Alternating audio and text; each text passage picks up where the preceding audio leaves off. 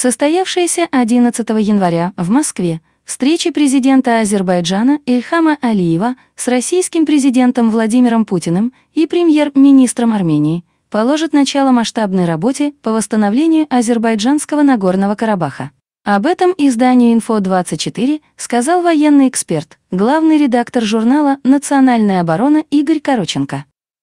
Он напомнил, что в трехстороннем заявлении, которое было подписано в ноябре прошлого года, многие положения из-за цитнота были сформулированы в общих чертах. Встреча, которая прошла в Москве, по мнению Короченко, позволила конкретизировать целый ряд вопросов, в частности, создание транспортного коридора между Нахчиваном и остальной территорией Азербайджана.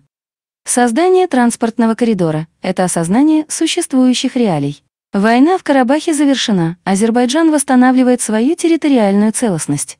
Дальше стоит вопрос экономического развития региона в целом. И здесь эти транспортные коридоры послужат на благо всем сторонам. Армении необходимо отказаться от идеи реванша, смотреть в новую реальность через призму укрепления армянской экономики, а новые транспортные коридоры будут работать на благо всех, включая и саму Армению. Это лучше и выгоднее, чем мечты о реванше, которого никогда не будет, отметил собеседник издания. Также эксперт прокомментировал слова Никола Пашиняна, который заявил, что конфликт в Карабахе все еще не урегулирован, поскольку стороны не договорились о статусе Карабаха.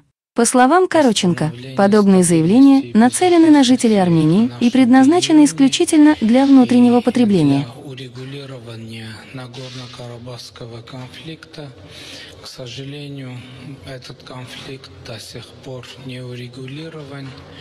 Остаются, конечно же, нам удался, удалось э, э, обеспечить режим прекращения огня, но еще остаются очень много вопросов, которые должны решаться. Один из этих вопросов статус, вопрос статус Нагорного Карабаха, и мы, конечно же, Армения готова продолжать переговоры в рамках сопредседательства Минской группы ОБСЕ.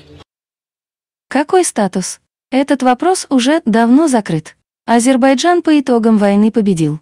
Но для внутриполитического потребления, чтобы снизить накал критики в свой адрес, Пашинян решил поднять этот вопрос.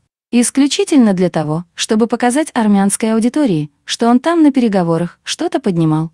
С практической точки зрения, это не более чем колебание воздуха. Я думаю, Пашинян и сам это понимает, и армянская элита это понимает, и армянское общество это понимает.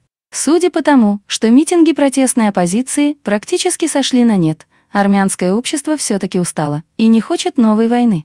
Сейчас идет осознание реалий и примирение с этими реалиями. Главная задача Армении – не мечтать о чужих территориях, а строить свое будущее, добавил Короченко.